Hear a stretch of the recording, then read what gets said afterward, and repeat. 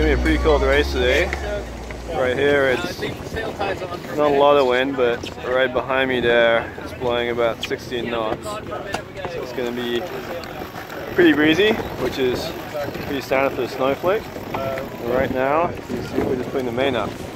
So ready to go, and it is extremely cold out here. So it's going to be a fun race.